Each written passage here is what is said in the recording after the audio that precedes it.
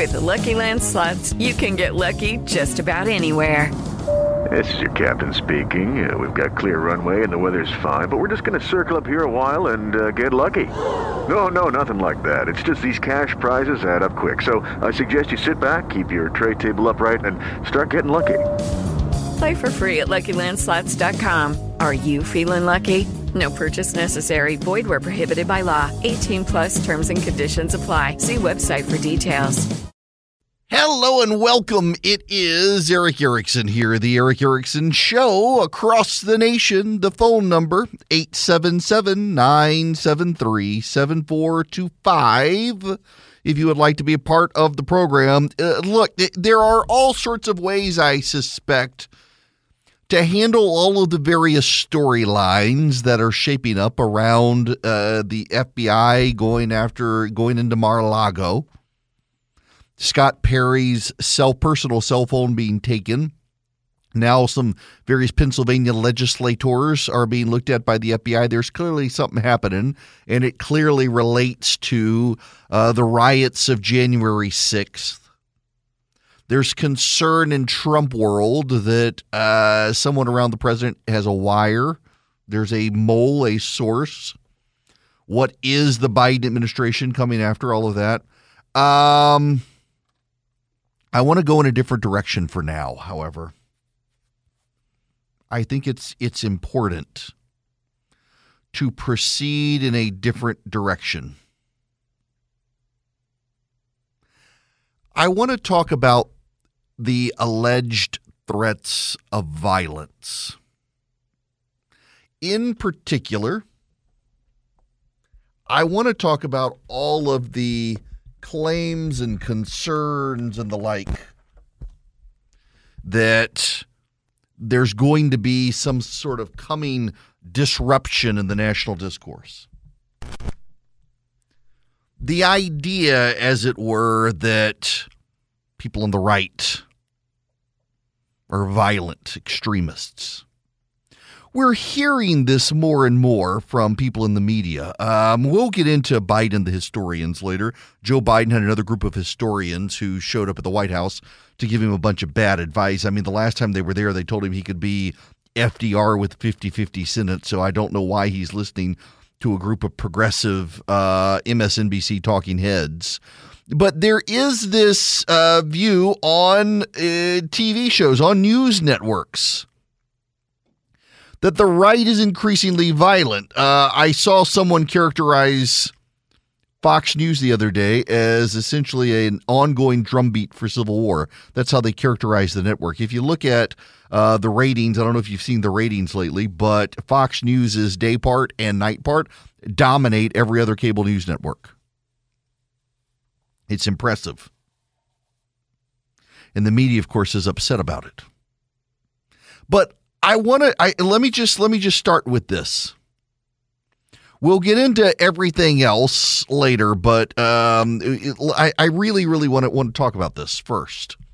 I think this is the most important thing. You're hearing a lot of people in the media talk about threats to the uh, judge who issued the warrant, Jeffrey Epstein's former lawyer you're hearing that there are uh, rampant threats towards the FBI and rampant threats towards Merrick Garland and the Department of Justice.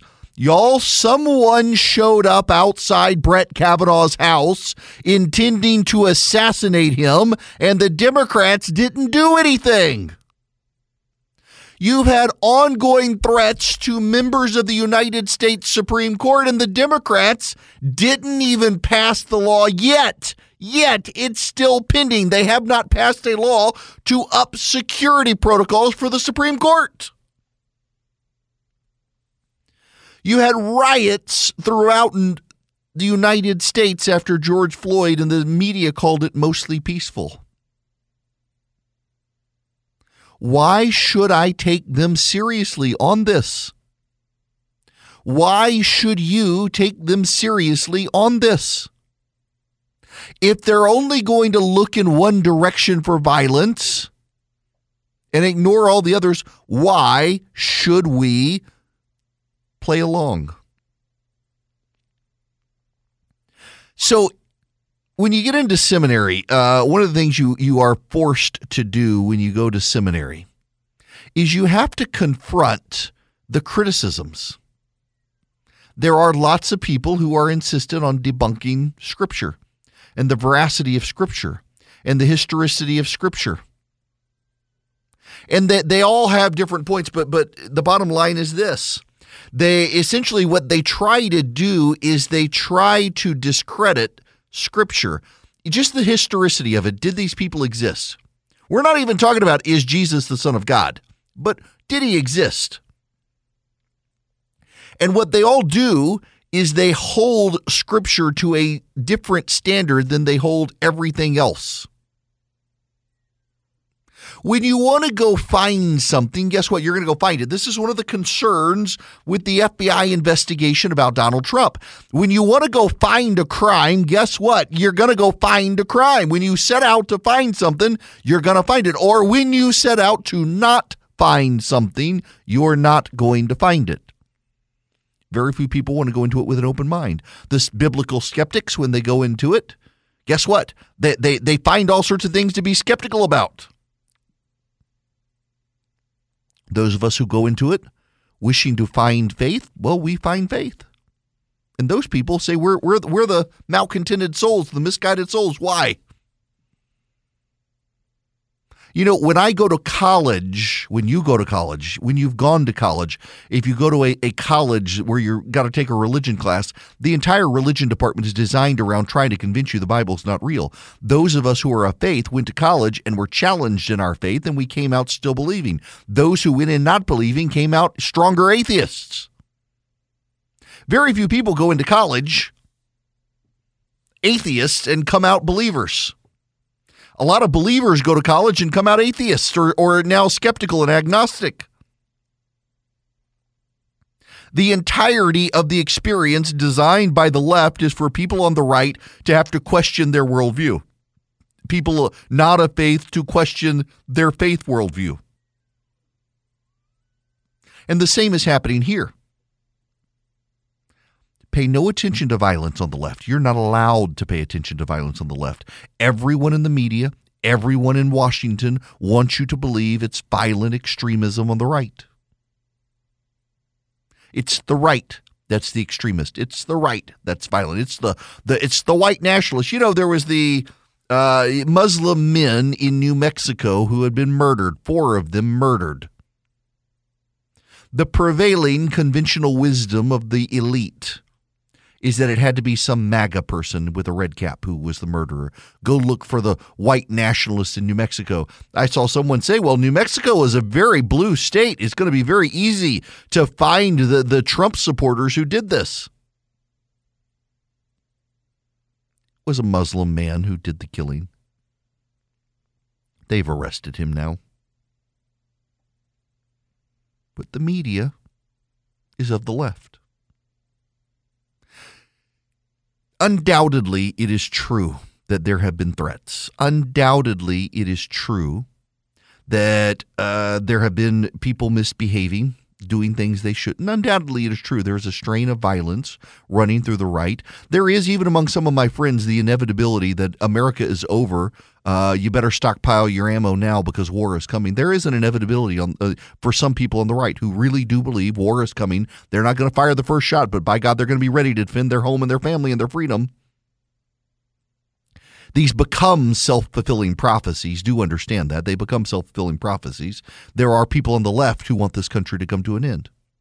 I mean, here's the thing you've got an entire group of people on the left seeding the 1619 nonsense claiming that the country was founded on slavery is inherently systemically racist and everything about it, all of its Republican institutions are discredited. The Senate, an institution to prop up racism. The Electoral College, an institution to prop up racism. The Republican Party, an institution to prop up racism. Hello, Abraham Lincoln.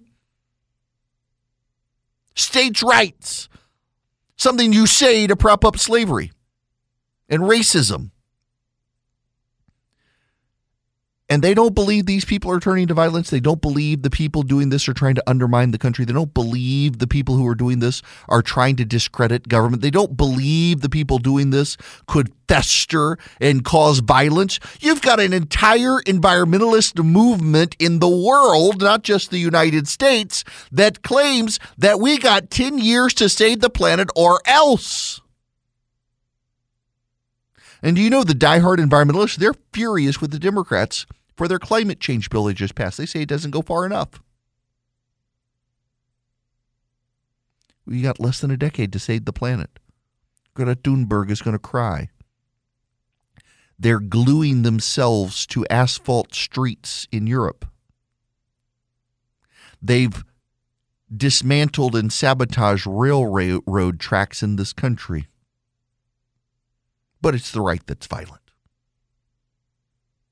There is a there is an and here, by the way. You do have to concede there are people on the right who are violent. You do. It's true. There are. There are a whole lot of people on the left who are as well. But the media doesn't talk about them. The media says they are mostly peaceful. The media says their protests are mostly peaceful. The media says, well, they're just a fringe group. They're, they're not the majority. You're just nut picking. You're picking out the nuts and extrapolating it as the whole. But by God, the whole of the right, they're nuts. No. There are nuts everywhere. The problem, of course, is that people in the media tend to be of an elitist mentality. They believe they and the elite know best for America. Most of the left are upset uh, that it is the rest of the country standing up to the elite. That's why they give the left a pass.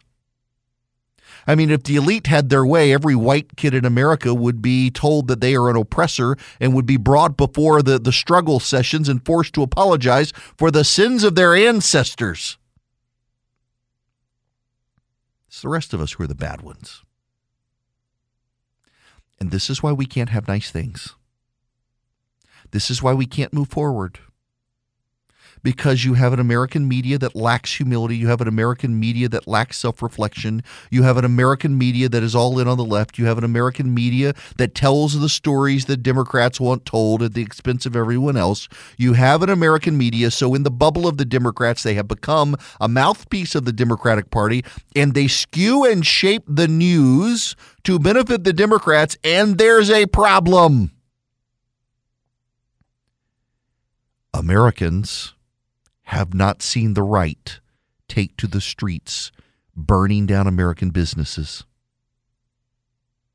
Americans have not seen the right start gunning down police officers in their cars in the name of social justice. Americans have not seen Republican lawyers Molotov cocktail police cars in New York City and be let out of jail. Americans have not seen a group of middle class white people running through the streets of Waukesha, burning down businesses. Americans have not seen that from people on the right. They've seen it from a lot of people on the left. And yet the media wants you to know it's only the right that's gone violent in this country. When you see reality and hear something else said on television, guess what? You tend to stop believing the reporters. Their credibility tends to go away. And you know what the solution is for the media? They double down on the lie instead of trying to find the truth, and it just further discredits them. Hello there. Welcome. It's Erick Erickson here. The phone number is 877 973 7425. If you would like to call in, Operators are standing by. The Treasury Secretary Janet Yellen directed the Internal Revenue Service not to use any new funding from the Democrats' health care and climate bill to increase the chances Americans making less than $400,000 a year get audited. The letter to IRS Commissioner Charles Rettig comes amid attacks from Republicans. Now, wait just a damn minute. She can always walk the letter back later, can't she? She can. She can 87,000 new IRS agents. Have you heard about the ones they want for an IRS police force? That's right. It's not an urban legend. The IRS has actually yanked it off their website, but people downloaded copies of it. Uh, they want to hire an IRS police force where individuals will be uh, encouraged to carry guns, maintain a level of physical fitness with which to um, eh, proceed in police raids, and uh, conduct search warrants and detain individuals with guns. Um, you can write a letter to the IRS and say, don't do this. But it doesn't mean you mean it. Also, do you know how small businesses work? When they say uh, Americans who make less than $400,000 a year won't be audited, a lot of small businesses in this country make more than $400,000 a year, but less than a million dollars a year. But once they paid their employees, their owner may take home less than $100,000. But they're going to get audited. They're over $400,000. The small business will get audited. Because of pass through taxation, they'll get audited. That's what this is for. The gig economy workers, y'all are going to be targeted by this. And you can say, well, she says Americans who make less than $400,000, but what does your LLC make that passes through the income? Hmm? Hmm? What does your LLC make? What does your partnership make? What does your S corp make? Those are small business entities. If you don't know what they are, the you, the reason number one reason you want a corporation or a business entity is not to protect you from the IRS, but to protect you from a lawsuit. You put your business in a company, and that company thereafter um, eh, that that company gives you a liability shield when you're sued. Only the assets related to the company can be targeted not your personal assets. That's why you have a company. But what the IRS allows for a lot of companies is flow through taxation meaning you don't pay a corporate tax and then you pay an individual tax you let all the expenses and stuff come out of the company and then whatever is left over you get taxed on so after you paid your employees you paid your expenses you have $399,000, oh, you're still getting audited because the revenue income to your small business exceeded $400,000 even though you only had $399,000 left over of which you take home $100,000 because you got to leave $299,000 in there to keep growing your business. They are so coming after all of you and only liberals are the ones who refuse to recognize what's going on. Hi there. Welcome. It is Erick Erickson here. The phone number is 877 973 7425. I should take some phone calls now. We have people wanting to talk. David, I'm going to go to you first. Welcome to the Erick Erickson Show. David, how are you? Hey, good. Uh, a couple of questions I had. And uh, so uh, one of these is on the burn pit bill, and he said the Republicans were blocking, blocking that because the funding was not aligned correctly or wasn't yeah, they, they gave up blocking it and let it pass. Okay, but so nothing was changed in it. Nope. Um, they, there was such a backlash to them doing it that um, the Democrats allowed them a vote to strip the provision. The vote failed, and the Republicans went along with the legislation anyway. Okay, and then the other thing was in the climate health bill. They said that the Republicans blocked the uh, uh, discounts for insulin and I was just questioning how how were they blocking that if they were against the bill altogether? yeah. Um, so it, it's actually the the real issue here wasn't that the Republicans blocked the insulin provision. It's that the Senate parliamentarians said it was not germane to the legislation because it's new policy. Um, if the Republicans had joined the Democrats and two thirds of the Senate voted to uh, say it was fine, then the parliamentarian would have been overruled. But uh, the Republicans did not vote to overrule the parliamentarian. Therefore, the Democrats say it's Republicans' fault. It was really the Senate parliamentarian uh, who said it couldn't fit in the bill. Gotcha. Yep. Okay. That's it. Thanks. Yeah, absolutely, Thanks. David. Sure, absolutely. 877-973-7425 is the number. Let me explain that one for you because it's it's a little bit nuanced. So reconciliation, you can do it uh, a couple of times a year in the Senate. and it's to uh, come up with a budgetary framework. And the budgetary framework essentially says here's what we're going to do for the next year, and we will build the federal budget around this framework. It can pass without the filibuster. The filibuster is not part of it.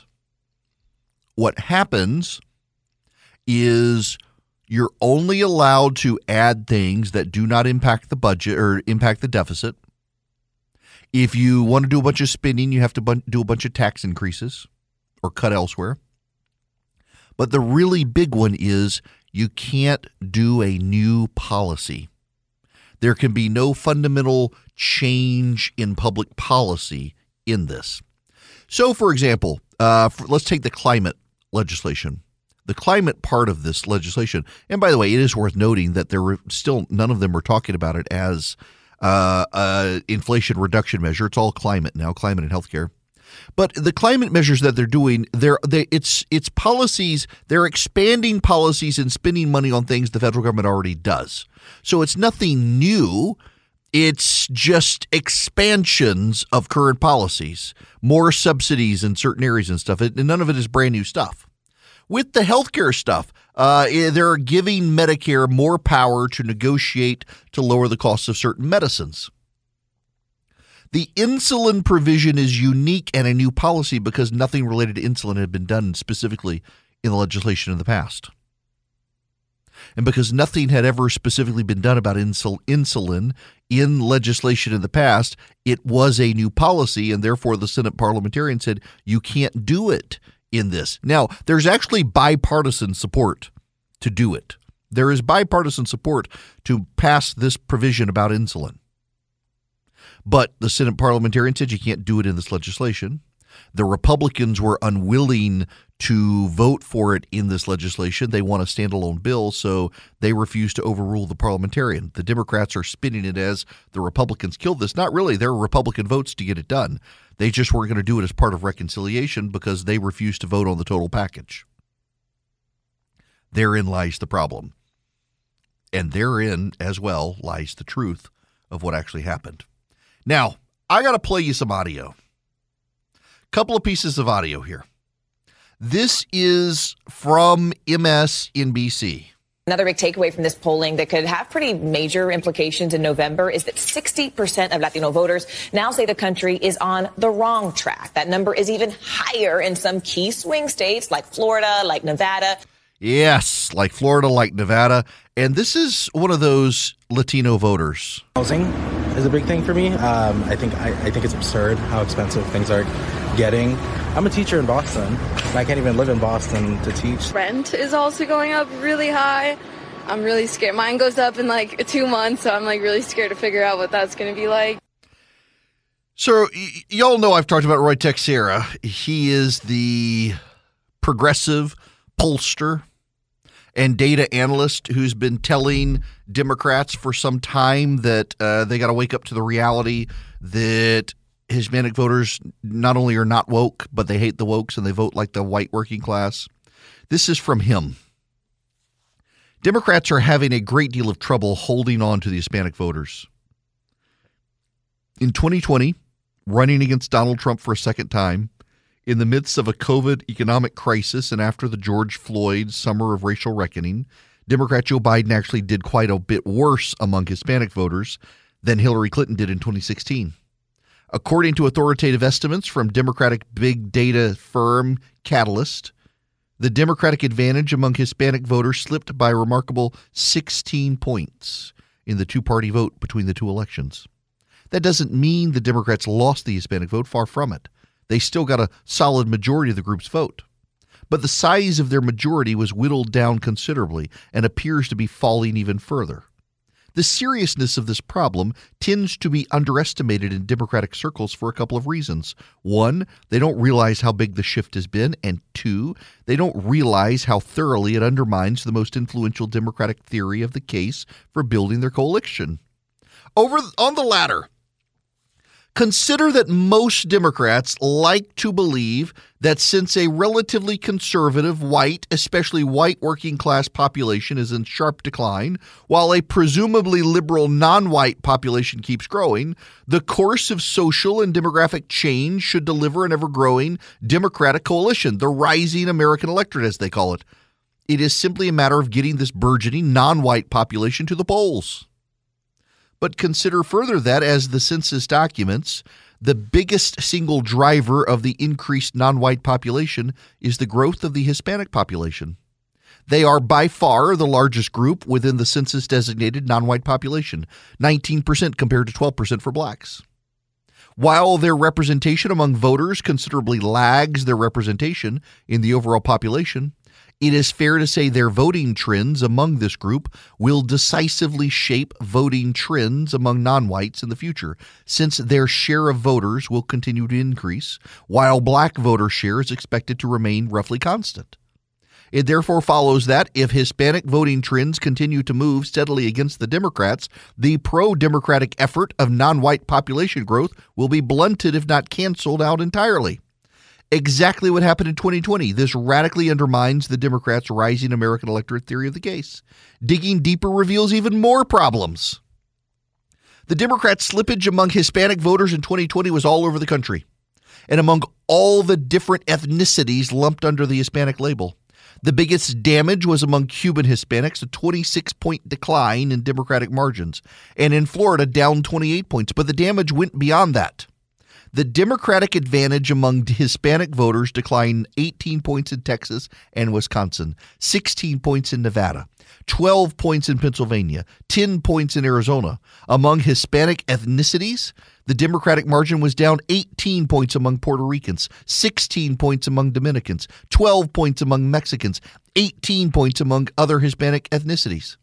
Neighborhood and precinct level analysis of the 2020 election by the New York Times and Equis Research confirmed the extensive nature of these shifts, showing up in Latino heavy neighborhoods from New York City, Chicago, Los Angeles, Houston, Milwaukee, Philadelphia.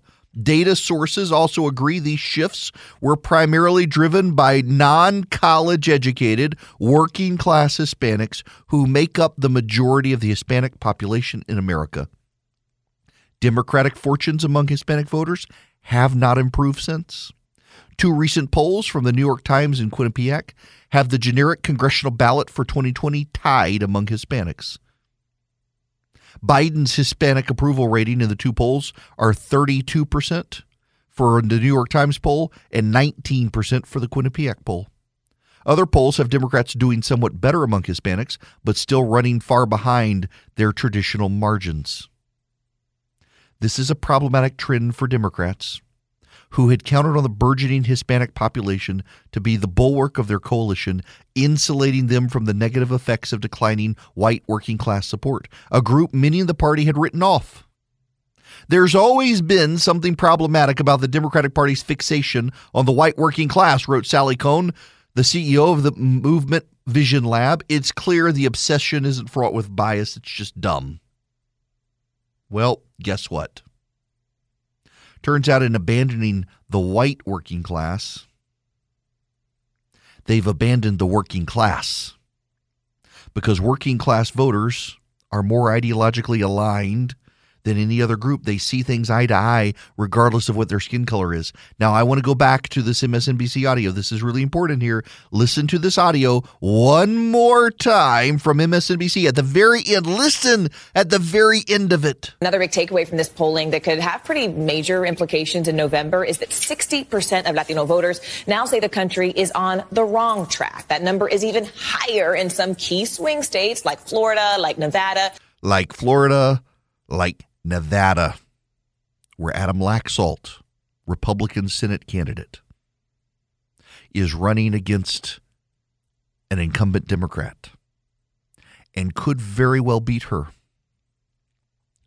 These are the problems the Republicans have to deal with and the Democrats have to deal with, and the Republicans have better solutions for dealing with them because the Republicans treat the Hispanic working class voters of America as Americans and the Democrats treat them as Hispanics. The Democrats view them as a racial group Republicans deal with them as patriots. And the way you treat this group matters greatly. Treat them as moms, treat them as dads, treat them as doctors, treat them as lawyers, treat them as electricians, treat them as plumbers, treat them as hardworking Americans. Don't treat them as a racial demographic. And the Democrats are so obsessed with intersectionality and racial demographics, they're losing these voters. They're losing them. It's going to be to their detriment. But America will be saved by Hispanic working class voters. We'll all be Catholic country music listeners before it's all over, thanks to the Hispanic working class. Now, I got to tell you about Eden Pure because they've got this deal running, and I've told you about it the Eden Pure Thunderstorm. You can get three of them for less than $200. You save $200. You get free shipping and you wipe out odors. Oh, did I get a funny email yesterday from a user of the Eden Pure Thunderstorm that I can't tell you about? Really? I shouldn't talk to you about it. Let's just say this person was able to cover up some smoky odors that weren't related to tobacco with the Eden Pure Thunderstorm. I thought it was actually pretty freaking hilarious to get this. Nonetheless, I've been telling you guys I use it for fry odors in the kitchen. I've used it on my back porch. I've gotten cigar odors out of my car. Uh, it really is a great eliminator of odors. It doesn't cover them up. It's not an essential oil. It actually eliminates them. You can get three of them for less than $200. You go to EdenPureDeals.com. You put in the discount code ERICK3, E R I C K 3, ERICK3, and you will get three of these for less than $200. They fit in the palm of your hand. You keep one in your suitcase. I'm staying in a hotel tonight, so I got one in my suitcase. But my hotel is too nice to be smelly. But nonetheless, I keep one with me. EdenPureDeals.com. The discount code is ERICK3, E R I C K 3. Hello there. It is Erick Erickson here. The phone number is 877 973 7425. John, I'm going to go to you. Welcome to the show, John. How are you? Uh, doing fine. Uh, I've got a question about the power grid in Texas that I haven't been able to resolve, and that is how did they get in such a position with the windmill uh, power system? Uh, were they ordered by the federal government in some instance to put all these windmills in? Why- Uh no. not the coal So so Texas maintains its own power grid separate from the rest of the nation. And Right. the Texas Railroad Commission uh, yeah, the Railroad Commission um, actually oversees a lot of energy in Texas, oil and gas and, and power grid, among other things. And, and they pushed for Texas to become more and more renewable. Uh, and what they did not expect and did not prognosticate for is the massive growth in Texas. And because of the massive growth in Texas, um, they needed more baseload power than they had, and they didn't build more baseload power in Texas. And then you had this calamity of events, I guess, uh, winter ago, where they had the the coal power plants were offline for repair. The nuclear power plant couldn't keep up, and then the solar panels got too much snow on them, and there was no wind, so everything shut down. It's funny, I haven't heard any mention of how they're planning on resolving this. Yeah, yeah, I haven't I either. Um, I, you know, there is there's an inquiry in the Texas legislature right now uh, on what needs to be done, including building more baseload capacity in Texas. That well, the other thing they've got to do, John, is they've got to upgrade their lines.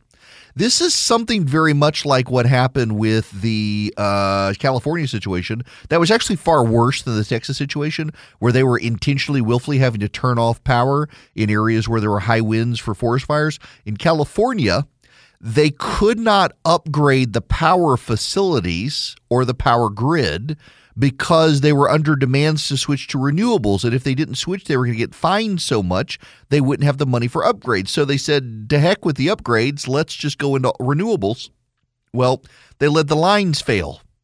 And the lines started sparking, calling forest fires. We've got a problem around the country with this. Some areas do it good. Um, what you diggy, Southern Company down in the South, uh, Alabama Power, Georgia Power, Florida Power, they tend to be way more responsible in the Southeast than a lot of these others are because they've had to deal with so much skepticism in the South on renewables. You've got Plant Vogtle coming online down in Georgia to add more baseload capacity, but you've also got solar down there as well. This governmental push to get states to switch to renewable energy sources or clean energy sources, I should say, because they're not that renewable, um, is a problem. Not because we shouldn't be headed there long term, but because we got to figure out baseload capacity first. As states grow, you need power that can come on with the flip of a switch. And as states are growing and rushing towards clean energy sources like uh, solar and wind, those aren't baseload capacities. You can't flip a switch and make the wind blow. You can't flip a switch. We don't have the battery storage technology available right now in order to be able to store the power either. And because you can't do this, you've got to have either natural gas or coal burning plants, or you've got to have nuclear plants. Now, nuclear is the obvious solution, and we have brand new nuclear technology that could be deployed, but there's still such skepticism in this country of deployed nuclear power, and you don't have a brain trust in this con- country able to build it. What we really actually could use is the federal government stepping in on this and saying, you know what, we're going to help step in and cover the cost of these nuclear power plants and get people up to speed and get people going and get people building them, you get this capacity going for nuclear power plants in the country, then we have less to worry about as a nation. And then we can concentrate on the power grid and not have to worry about all the wind and solar, which, by the way, with the wind and solar, it's really resource intensive. And we don't talk about that because we don't see it here, but it increases our dependence on China and other countries to get the resources needed to build the solar panels and even frankly to get the the uh, windmill turbines constructed. Build nuclear power, we decrease our dependence on others. It's kind of smart to do it, which is probably also why it will not get done. When we come back, Joe Biden has met at the White House with a group of historians who are warning him civil war is on the horizon. He must act. The same historians who told him he could be FDR with a 50 50 Senate. We must discuss this, and I'll take your phone calls 877 973 7425. With the Lucky Land slots, you can get lucky just about anywhere. This is your captain speaking. Uh, we've got clear runway and the weather's fine, but we're just going to circle up here a while and uh, get lucky. No, no, nothing like that. It's just these cash prizes add up quick. So I suggest you sit back, keep your tray table upright, and start getting lucky.